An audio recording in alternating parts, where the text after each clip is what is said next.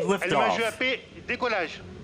Decollage, liftoff from a tropical rainforest to the edge of time itself. Launched in December 2021, NASA's newest space observatory is set to open a new chapter in astronomy. Thousands of people across 14 countries worked together to get this massive, complex spacecraft assembled and placed 1.5 million kilometers from Earth, where its tennis court sized sunshield cools the telescope enough for its 18 gold plated mirror segments to reflect the faint glow of heat emanating from objects throughout the universe.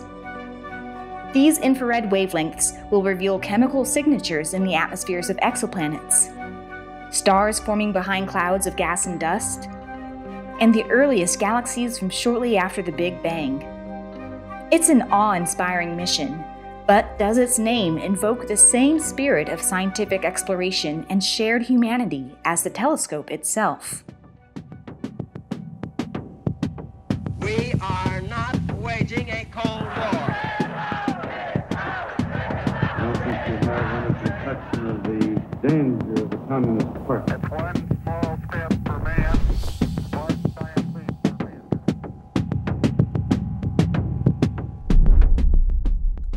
After the Hubble Space Telescope, named for astronomer Edwin Hubble, NASA continued to name most of its space telescopes after scientists. Typically, these missions would start with a technical name and then get renamed around the time it was launched. What I have heard as a rationale for that is like, in case of a launch failure, families of often didn't want to be associated with the just failed space telescope. So often they rename the telescope after the successful commissioning of a telescope. Five months after the Gamma Ray Observatory launched in 1991, it was renamed after physicist Arthur Holly Compton. NASA renamed the X ray Timing Explorer after astronomer Bruno Rossi three months after it launched in 1995. And in 1998, NASA announced a public contest to rename the Advanced X ray Astrophysics Facility. The winning submission from a high school student was the Chandra X ray Observatory, in honor of Indian American Nobel laureate Subrahmanyan Chandrasekhar. The Shuttle Infrared Telescope Facility was first renamed the Space Infrared Telescope Facility, and then after another public contest was renamed the Spitzer Space Telescope four months after it launched in 2003. In 2008, there was a contest to rename the Gamma Ray Large Area Space Telescope, which resulted in the observatory being renamed after physicist Enrico Fermi two months after launch. JWST took a different path. It was before construction even began that NASA announced the Next Generation Space Telescope would be renamed in honor of James E. Webb. Rather than going through any formal naming process, NASA Administrator Sean O'Keefe decided on the name himself in 2002. And in broad terms, our mandate is to pioneer the future, to push the envelope, to do what has never been done before. This took many in the astronomy community by surprise. Partners on the project apparently weren't consulted, and scientists wondered who? One good person to ask who is science historian Audra Wolfe, an expert on the role of science during the Cold War. So, James Webb, who's usually referred to as Jim Webb, uh, is most famous for being the director of NASA during the Apollo years. He had previously been the Undersecretary of State under Truman. That's a second in command job at the State Department. He had also been director of the Bureau of the Budget. Uh, so, he wasn't so much an engineer or a, uh, any kind of space scientist, but a seasoned bureaucrat who knew a lot about uh, the workings of government. He is now bringing all of his remarkable skills of leadership and management to the service of our nation in this most urgent program in space. It is with particular pleasure that I present the Honorable James E. Webb.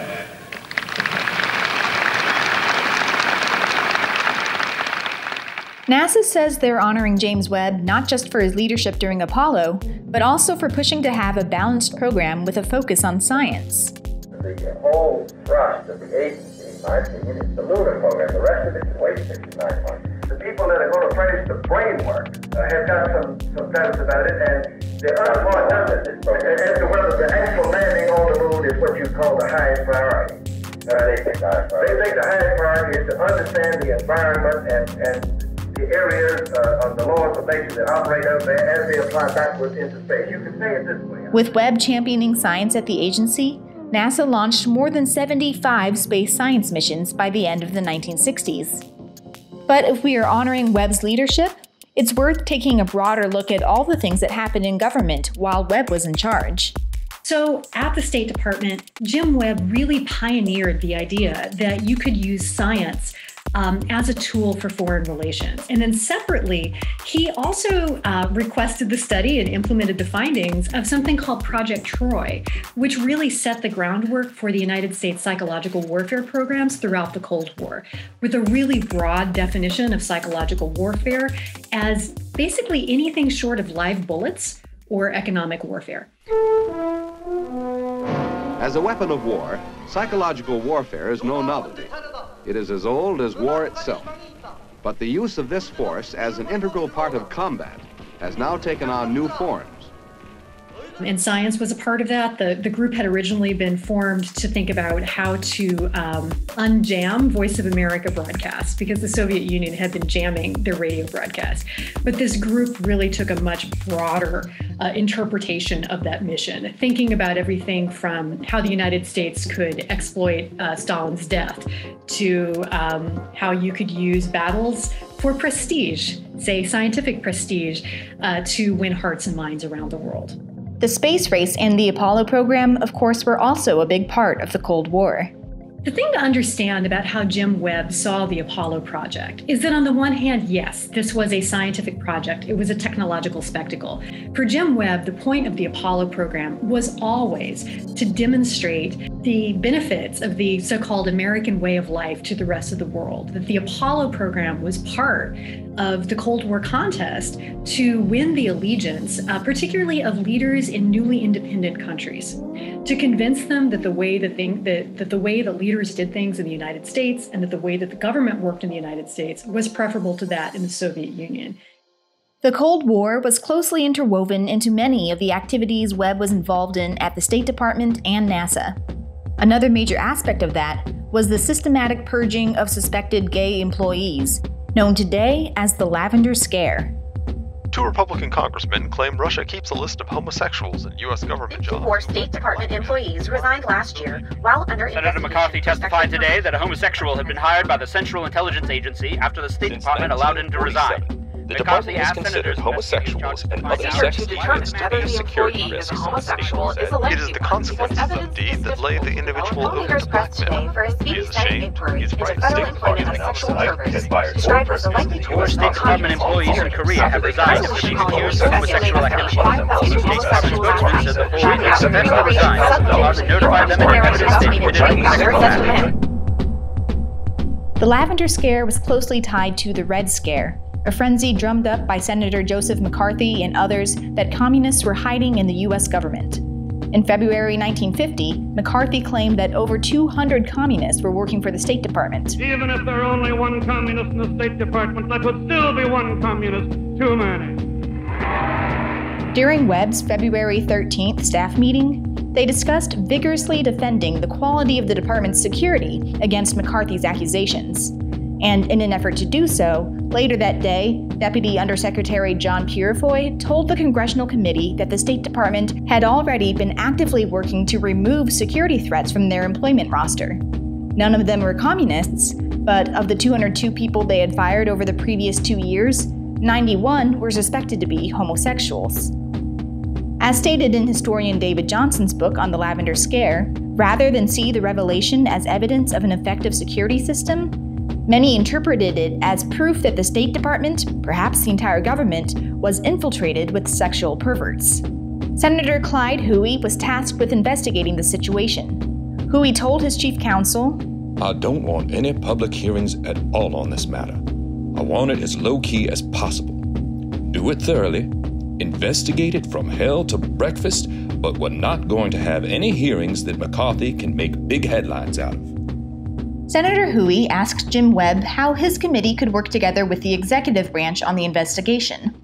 On June 22nd, during one of Webb's regular meetings with President Truman, they discussed Senator Hoey's request. I informed the president that Senator Huey had wished me to find out how his committee and the executive branch could work together on the homosexual investigation, and he advised me to say to the senator that he was sure we could find a proper basis for cooperation. He approved a suggestion that Mr. Murphy, Mr. Spingarn, and I see Senator Hoey on Saturday to discuss the necessary problems involving this cooperation. James E. Webb. To prepare for the meeting with Senator Hoey, the Assistant Secretary of State for Administration, Carlisle Humelsine, sent James Webb a package of information on June 24th. This included suggestions on how the Senate committee should conduct its investigation and how the State Department should work with them, as well as a background paper on the problem of homosexuals and sex perverts in the Department of State. This was quite literally a state sponsored manifesto of homophobia, describing homosexuals as emotionally unstable and abhorrent and repugnant to the mores of American society. But it also gives a lot of background information. As the document mentions, the government had no rules against the employment of homosexuals, and it wasn't until just recently that anyone really considered it a problem. In 1947, Humelsine's predecessor, John Peurifoy, took it upon himself to start ordering really intrusive investigations into the State Department's employees to seek out possible homosexuals. By 1950, there were two full time security staff members devoted to these investigations, which involved inquiries at all places of employment, all residences, and habitats. They tried to determine if any friends or associates were homosexual, and placed employees under surveillance to determine if they were visiting any known homosexual places. Suspected employees were interrogated by the investigator and the chief of the Division of Departmental Personnel or Foreign Service personnel. If they came to the conclusion that the employee was homosexual, they were promptly fired. And again, at the time, there was no actual rule against homosexuals being employed in the government. Humelsine's stated argument for firing them, in addition to thinking they were repugnant, was that most homosexuals are weak, unstable, and fickle people who fear detection and who are therefore susceptible to the wanton designs of others. So the State Department considered homosexuals a security risk. And according to Executive Order 9835, signed by President Truman in 1947, agencies were responsible for ensuring that disloyal employees were not retained. In the very next paragraph, though, Humelsine admits that we have no evidence, however, that these designs of others have caused a breach of security of the department.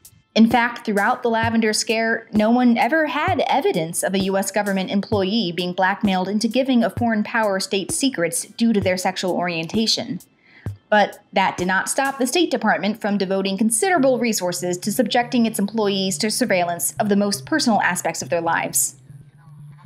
Equipped with this information, Jim Webb met with Senator Hoey on June 28th, along with Stephen Spingarn and Charles Murphy, two of President Truman's advisors.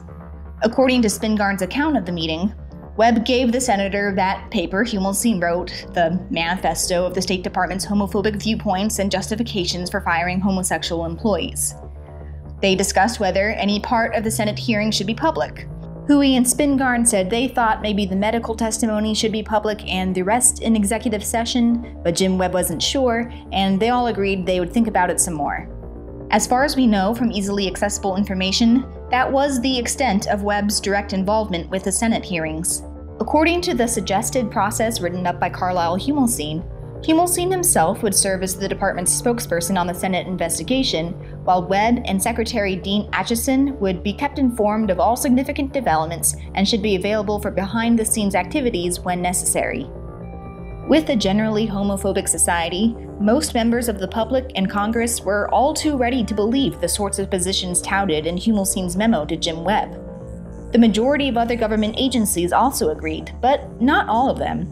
For example, the acting director of the Federal Mediation and Conciliation Service told the committee Since it is possible, according to our understanding of medical and psychiatric opinion on the subject, for a homosexual to lead a normal, well adjusted life, we do not consider that such a person necessarily constitutes a bad security risk.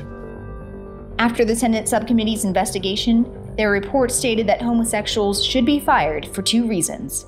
First, they are generally unsuitable, and second, they constitute security risks.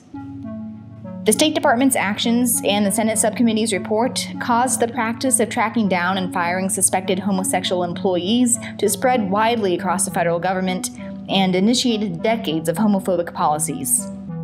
President Eisenhower signed Executive Order 10450 in 1953, which explicitly added sexual perversion as a reason for an individual being unsuitable for government employment. By the time Jim Webb became NASA administrator in 1961, some of the media and congressional attention to the Lavender Scare had died down, but many agencies were still regularly targeting queer employees. On October 22, 1963, NASA budget analyst Clifford Norton was driving his car near Lafayette Square. Two police officers from the Moral Squad saw Norton pick up a man, drive around the block, and drop him off in the same spot, at which point the man drove off in a separate car. The officers followed both men to Norton's apartment building, where they arrested the two of them in the parking lot and took them to the morals office to issue a traffic violation for speeding. The police interrogated both men for two hours about their activities and sexual histories. Meanwhile, the head of the moral squad called over the NASA security chief, who arrived at 3 a.m. and watched the last part of the police interrogation as Norton continued to deny the homosexual accusations. Then the security chief brought Clifford Norton over to NASA headquarters, where he and a colleague interrogated Norton until 6 a.m. Through these hours of late night interrogation, Norton conceded that he sometimes experienced homosexual desires when drinking, but continued to deny he was a homosexual. After the interrogations, Clifford Norton's supervisor said he believed Norton was a competent employee doing very good work, and he asked personnel officers whether there was any way to avoid firing Norton, because he didn't think this was a real security problem to worry about. The personnel officers told the supervisor that it was custom within the agency to fire anyone involved in homosexual conduct. So, Norton was fired due to possessing traits of character and personality that render him unsuitable for further government employment. Custom within the agency implies that NASA fired others as well. There isn't any easily accessible information on how many suspected homosexual people NASA interrogated and fired during Jim Webb's administration.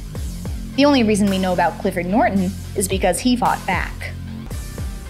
Norton called up Frank Kameny, who at that point was known for advocating for government employees who were dismissed over their sexuality.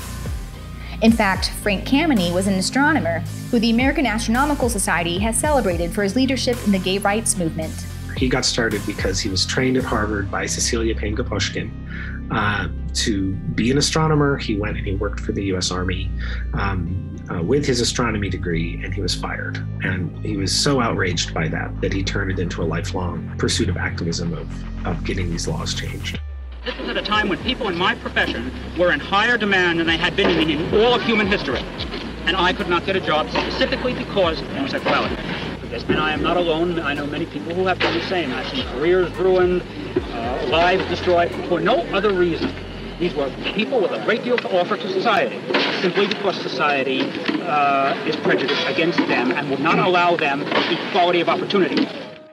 He coined the term "gay is good," and therefore said, like, if it's good and if it's an inherently good thing for us to be out, then it cannot be a security risk because that was always the argument. Frank Kameny helped gather facts on the case and referred Clifford Norton to an attorney with the ACLU. After a prolonged legal battle, the U.S. Circuit Court of Appeals ruled in 1969 that federal employees could not be fired solely on the grounds of being homosexual. Homosexuality would justify dismissal only if it demonstrably affected the employee's performance on the job. NASA's Clifford Norton case and efforts from activists like astronomer Frank Kameny slowly turned the tide on institutional homophobia. But government discrimination against queer people continued for years. Should someone be able to serve their country if they say they are homosexuals? The State Department in 2017 made a partial public apology for the Lavender Scare, but NASA and other agencies have never apologized for their participation, and as far as we know, no effort was ever made to compensate the victims or their family members.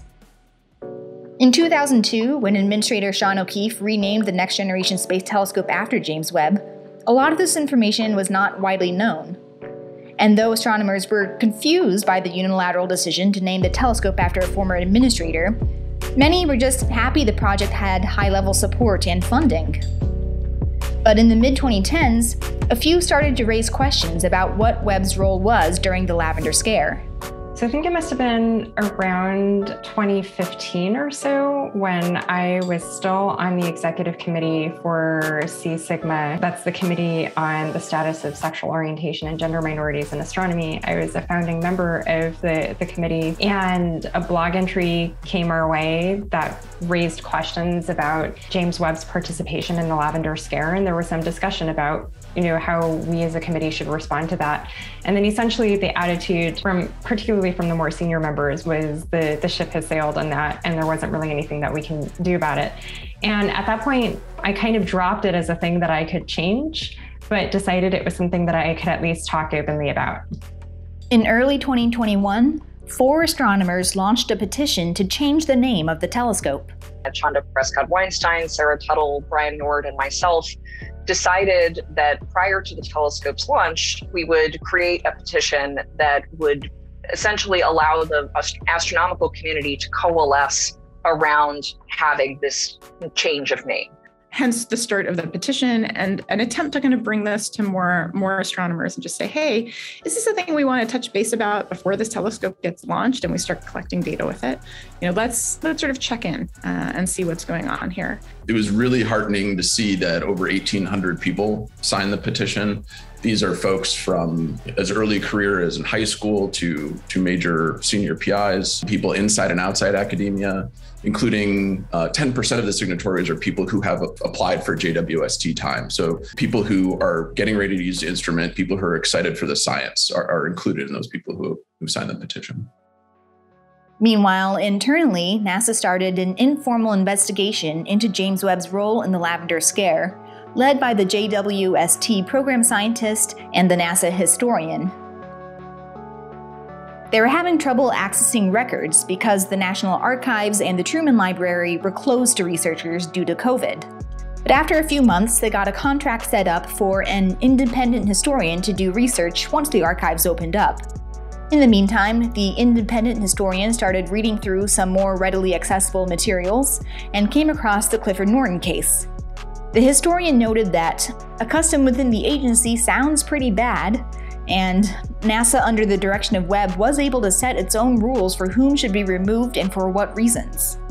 Members of both the Astrophysics Advisory Committee and the American Astronomical Society's Committee for Sexual Orientation and Gender Minorities asked NASA for updates on the investigation and information on NASA's process for reconsidering the name. For the most part, NASA leadership gave those committees the same information that they were giving to reporters and the public. NASA was aware of the concerns, and they were working with historians to examine Webb's role in government. Over the summer, one of the interns in the history department also started looking into information on James Webb, and in early September wrote a lengthy email full of information and sources. They wrote, That Webb played a leadership position in the Lavender Scare is undeniable.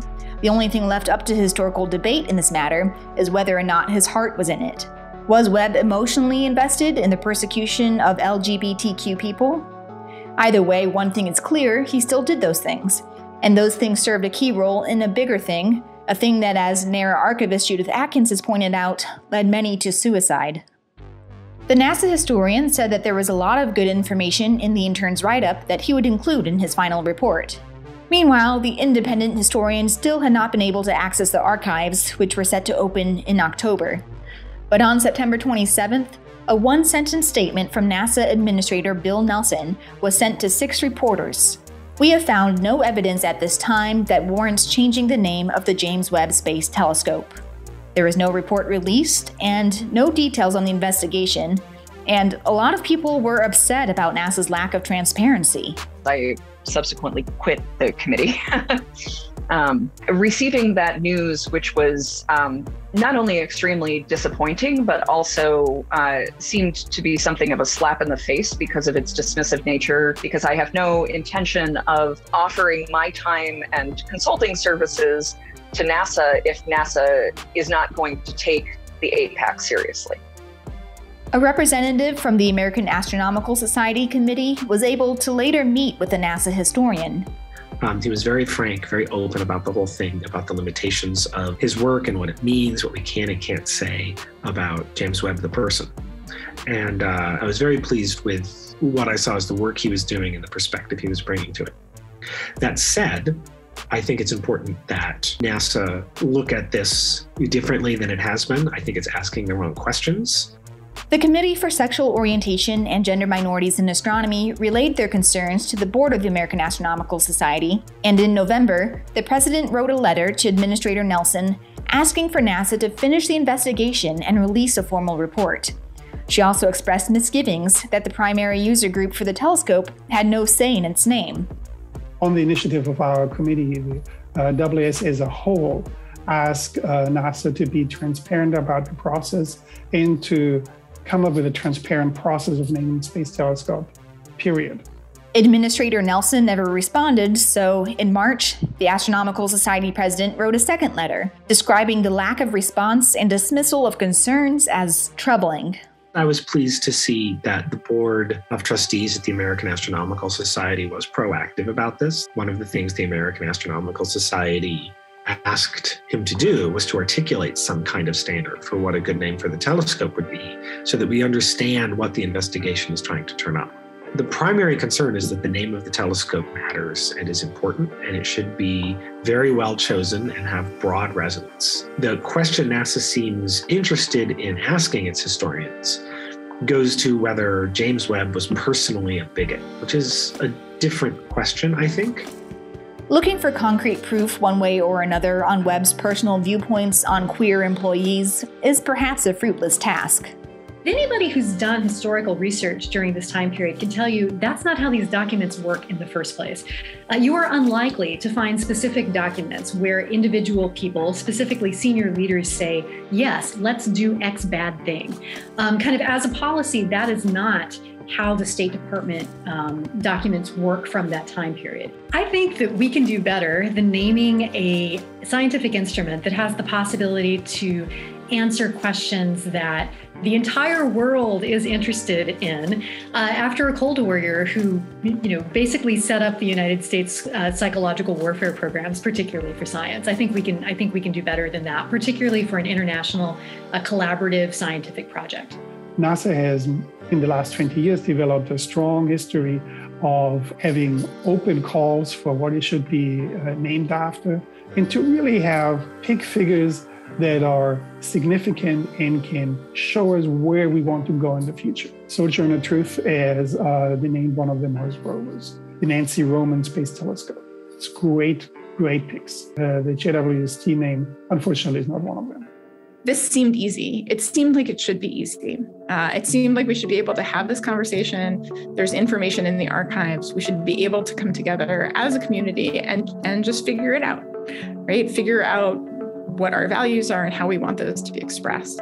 So I think that at some level, at every turn of this, it feels like NASA has made it much harder for themselves than it needs to be. I think NASA has been making it harder on everyone by not being willing to start or even participate in having a sort of a transparent and open conversation about the issue at hand with this particular name for this particular telescope and the idea of how we name telescopes or other instruments in general. We have a difficulty, I think, in the scientific community, and I think this is an example presented here in having these difficult conversations about topics like this. So I, I think that every every moment from now on is an opportunity for us to start having those conversations and i really really hope that nasa is willing to engage in that during a town hall meeting in April 2022, Astrophysics Division Director Paul Hertz noted that the investigation was still ongoing.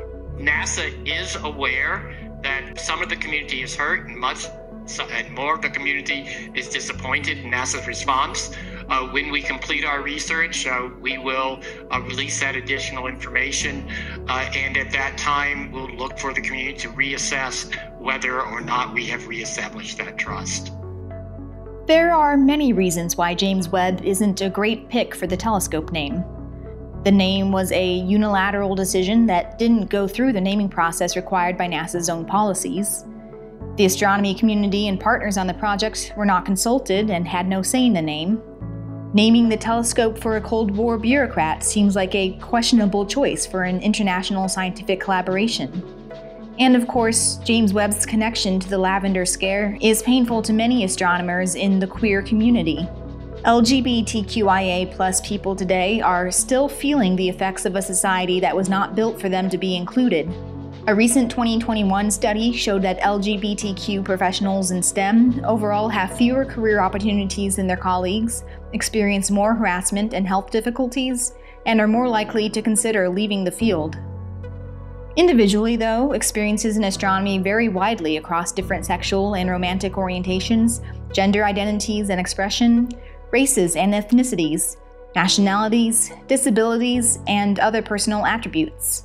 I knew that I would be able to at some point come out in the South African community because the first gay person that I knew as a scientist who was out was a senior astronomer in South Africa, and they were openly gay. And I think that had a very profound effect on me. It, it took many years for me to get to that point, but seeing someone, you know, who has succeeded in their career be openly gay was subconsciously a very powerful message for me to see, and I really appreciated that. I've noticed the most is lack of visibility. I remember being to conferences and feeling like I was the only non cisgender heterosexual person there. And it can be really alienating because either people are talking about work stuff, which is fine, or they're talking about their family lives, which is very, very heteronormative. Obviously, most people assume you are heterosexual. So when I mention my partner, usually people then will usually assume that my partner would be using a pronoun she, her, right? And so they would usually ask, what does she do? Or something like that. And this kind of just general assumption, it's not a big deal, but it adds up.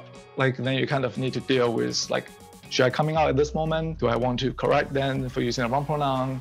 Do I not to worry about that? And like, what should I do? So a lot of uh, a lot of non-binary people use they them pronouns or they use neo pronouns like these or them, and it can be very very difficult to get your peers on board with the way to properly address you.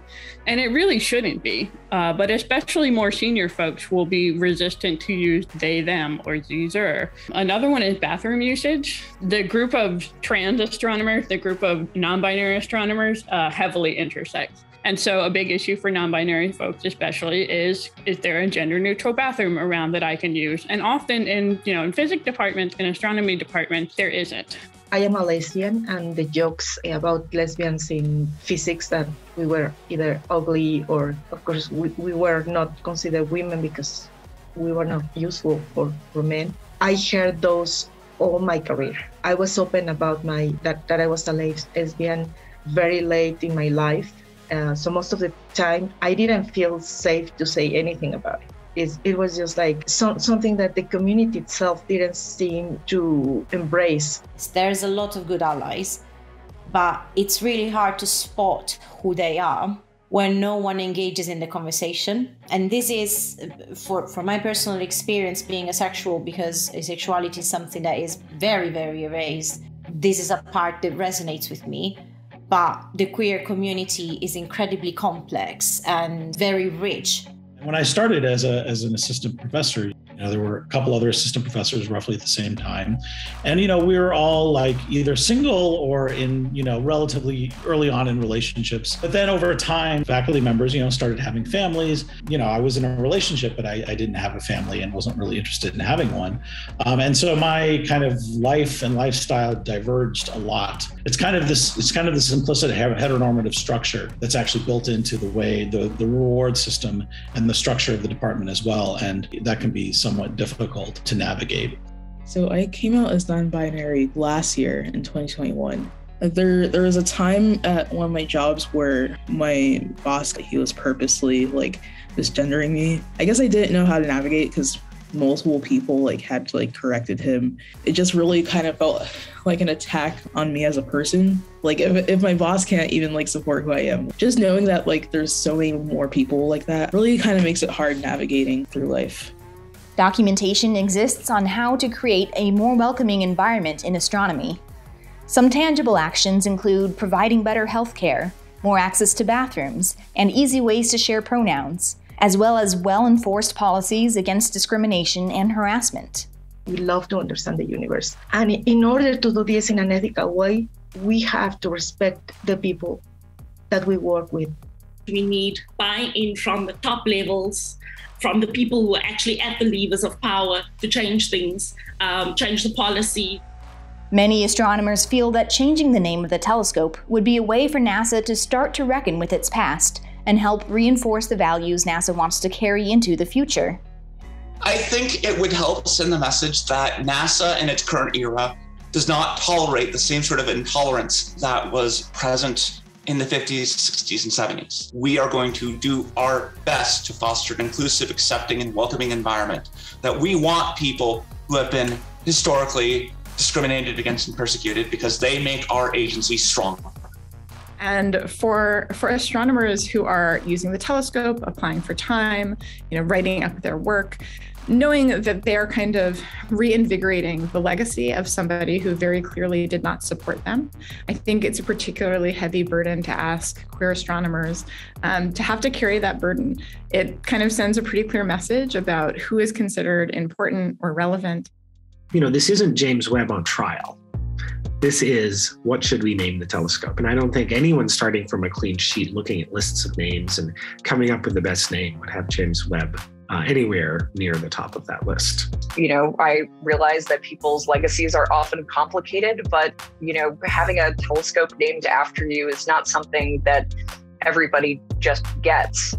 Uh, to be honest, I'm not quite sure why in this particular case NASA is so insistent on, on James Webb. It, it feels a little bit strange. There are just so many choices for name, right? Even if James Webb was a great guy, if this name is not, it doesn't get buy-in from the community, I don't see a strong reason that we need to stick to this specific name. One suggestion for a different name for the observatory could be the Harriet Tubman Space Telescope. So I think that when we're talking about sending something that represents humanity into space, that we should be thinking about sending the best of humanity into space and something that represents our very best. And Harriet Tubman is an exemplar of who we can be as a species and as individuals in terms of um, a, a commitment to what is right and doing what is right, a commitment to justice and a commitment to being um, actively engaged in struggle and um, to liberation. The criticisms that I've sometimes heard are, you know, like, oh, well, Harriet Tubman wasn't an astronomer. Well, neither was James Webb. And also, um, you know, I think the question of who is an astronomer, right? Like, let's think about why wasn't Harriet Tubman an astronomer, even though she observed the night sky and used the stars for celestial navigation in the service of something that could not have been greater, right? People's freedom. Um, you know, to me, like, that makes her an astronomer. With with the name, I just see a lot more hope and happiness there's a lot, a lot more positive characteristics that come with a name such as Harriet Tubman Space Telescope than comes with James Webb, I'd say. And it gives a lot of people who have traditionally been excluded in the community a lot of a sense of belonging, I'd say. There's no doubt that James Webb was a talented NASA administrator who advocated for the inclusion of science programs. But would Webb himself have wanted this telescope to be named after him when so many people were objecting? It does seem quite clear that the uh, decision makers, that, that when there were critiques of the name, that NASA administrators' response was primarily to shut that down and rationalize their decisions and to say, you know what, this is inconvenient. And we think the people who are making these claims are not in the mainstream and we're just going to ignore it. Webb himself, the man who they are supposedly trying to honor, has at length made the opposite argument, saying that dissent is integral and that public opinion changes, and that executives have an obligation to think through that, to have an open discussion, to acknowledge their own mistakes um, that that is the only way that you can maintain the public's trust. It is entirely possible that an endeavor that has been strongly and enthusiastically endorsed on all sides at its inception might suddenly find itself in support trouble. Dissent is an integral part of our system. We do not have, and for my part, emphatically do not want, Soviet type arrangements whereby once a decision is made by the authorities to do something, the decision automatically becomes binding on everybody, and no one has either the right or the opportunity to object or oppose. Webb's defenders say he cannot possibly be held responsible for the lavender scare at the State Department. And you can't have it both ways. Either Webb is an administrative genius who understands how these organizations work from top to bottom, or he's not. Um, and, and the thing is that as a theorist of organizations, he has written about this himself in Space Age Management. And he is on the side that senior administrators and executives are, in fact, responsible for those decisions we can change its name. We can move past this controversy and we can find other ways to honor the people who worked at NASA during the Apollo period, to, uh, to honor the people who never had the chance to work at NASA, and to kind of honor people who have thought about the possibilities of the universe for generations, who would never have found positions in the State Department or in NASA during this time period. And we have a real opportunity to think about what it really means to think of science as an international, collaborative, inspiring enterprise and naming a telescope after a Cold Warrior is not the way to do that.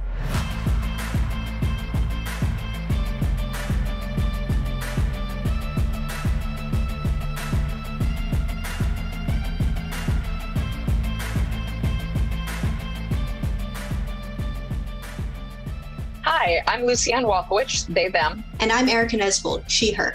And we are the co founders of the Just Space Alliance. Thank you so much for watching this video on James Webb's role in the Cold War and the Lavender Scare. There's a link in the description to a folder with a bunch of resources and the documents that were used in the making of this video. And if you're interested in signing the petition to rename the telescope, you can also find that link in the video description. You can also express your support by tweeting about this documentary, tagging NASA, and using the hashtag RenameJWST.